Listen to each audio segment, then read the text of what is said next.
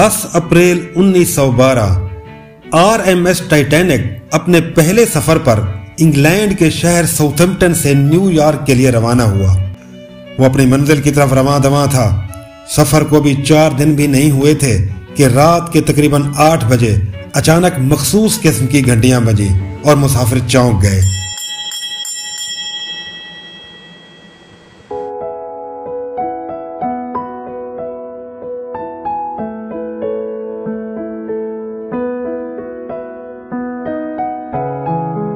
मगर आप यहाँ घबराए नहीं। ये घंटियाँ किसी हादसे का पैगाम न थी। ये तो महज एक ऐलान था, जो एक स्मार्ट बगलर खूबसूरत धुन बनाकर मुसाफिरों को दुनिया के बेहतरीन डिनर पर बुला रहा था।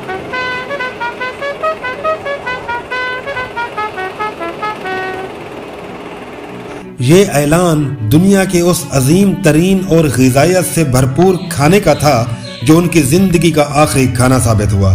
ये उस वक्त पेश किया गया जब इस बदकिस्मत जहाज़ को डूबने में अभी पूरे तीन घंटे और चालीस मिनट बाकी थे। किसी को कुछ इल्म न था कि बहरे ओकेनूस का जालिम बर्फानी तोदा टाइटैनिक जैसे ताकतवर तरीन जहाज़ को फाड़ डालेगा और उनतालीस हज़ार टन का बर्फीला समुद्री पानी उन्हें गहरी वादियों में ले जाएगा और दफन कर देगा। दोस्तों, टाइटैनिक तो डूब गया और इसका सबको पता भी चल गया। मगर ये हकीकत बहुत कम लोग जानते थे कि ये जहाज़ अपने साथ कितने नफीस खाने लिए हुए था। इसमें मौजूद खूबसूरत कैफ़े और डाइनिंग सैलून लंदन और पेरिस के रेस्टोरेंट्स का मुकाबला करते थे। टाइटैनिक की गैलीज में मौजूद अमला ने पहली और दूसरी क्लास के मुसाफिरों के लिए यह खाना बड़ी मेहनत से तैयार किया हुआ था। आज की वीडियो में हम टाइटैनिक के इस आखिरी डिनर के बारे में आपको बताएँगे जिसकी लिस्ट देखकर भी आप हैरान हो जाएँगे। मगर आगे बढ़ने से पहले आप दोस्तों से एक ही गुजारिश होती है कि चैनल को लाइक और सब्सक्राइब कर दें। Thank you very much first class मुसाफिरों के लिए इशाया 10 कोर्सेज पर मुश्तमिल था। Course number one oyster mignonette oyster mignonette on half shell with classics mignonette sauce bed of sea salt यानी आधे खोल पर मिन्यूनॉट चटनी के साथ वास्टर की आमेजिश थी, यानी समुद्री नमक का बिस्तर। कोर्स टू कौन को में होगा with scallops cream of barley कटे हुए स्कैलप्स के साथ ओगा और जौ की cream course three cold asparagus vinaigrette green and white asparagus tips edible flowers यानी सब्ज और सफ़ेद एस्पेरेगस के टिप्स और खुर्दनी फूल। Course four tray of filet मिनियान Lili सीअर filet सलाई स्टफान bed of crispy potatoes cornea Madeira red wine sauce sauté of chicken Lyonnaise onion tomato sauce on bed of crispy potatoes ये तीन तरह की डिश थी।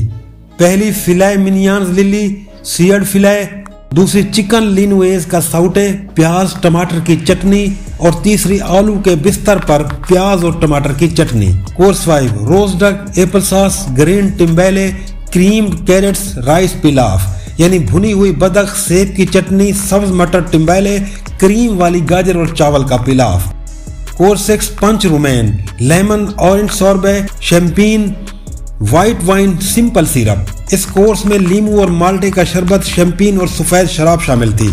Course seven roasted squab with cress sauce यानी cress sauce के साथ बुना हुआ स्क्वाब। कोर्स आठ poached salmon with mousseline sauce and cucumbers. Course nine pâté de foie gras. Foie gras mousseline cylinder celery garnish. और course number दस Waldorf pudding with French ice cream यानी फ्रांसीसी ice cream के साथ वार्ड रूफ पुडिंग थी।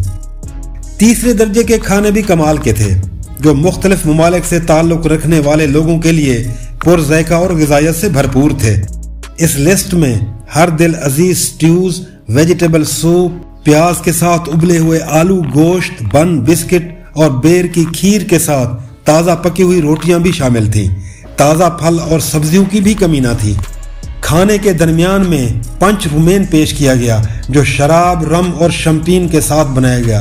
मीठे के इंतखाब में चाल्ट्रियोस जेली, चॉकलेट, वनीला, फ्रांसीसी आइसक्रीम और आड़ू शामिल थे। फली, गरीदार मेवे और पनीर भी पेश की गई। इसके बाद काफ़ी, पोर्ट, सिगार का दौर चला। इस महफिल में दुनिया के मशहूर करोड़पति जॉन जैकब आस्टर और बेंजामिन गगनहाइम भी शामिल थे, जो रात के 11 बजे तक क्लासिकी मौसीकी से लुत्फानंदोज होते रहे। कुछ ही समय बाद ऑर्केस्ट्रा की सुरीली आवाज़ मदम पड़ती गई और ये महफिल एक अलार्म के साथ हमेशा के लिए बर्खास्त कर दी गई।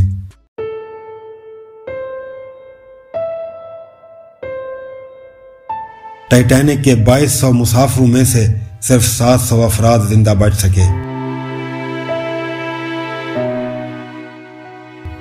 अजीजान मन, इस अफसानवी तबाही की याद में हर साल दुनिया में लातादार लग्जरी क्रूज, गाला डिनर्स पार्टियों का इनका किया जाता है और इनमें वही खाना तैयार किया जाता है जो इस बदकिस्मत जहाज़ के मुसाफरों ने अपनी मौत से चंद घंटे पहले तनावल फरमाया था।